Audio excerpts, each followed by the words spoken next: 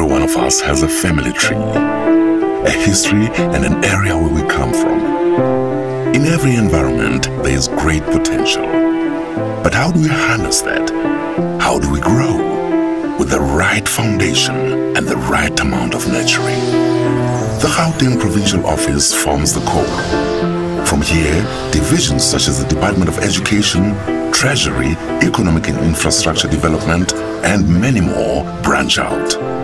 The Gauteng Growth and Development Agency is an offshoot of the Gauteng Department of Economic Development. This means we support the department in fulfilling their mandate of job creation, inclusive economic growth and development. Under this, we bear fruits of our own. The Automotive Industry Development Center, Constitution Hill, the Gauteng Industrial Development Zone, and the Innovation Hub. Maybe you are interested in the automotive industry, more interested in culture, preserving heritage, or even supporting R&D. You may even have an idea that needs nurturing. Under our custodianship, you'll be able to see the wood and the trees. To find out more about our subsidiaries and the projects under development, visit ggda.co.za.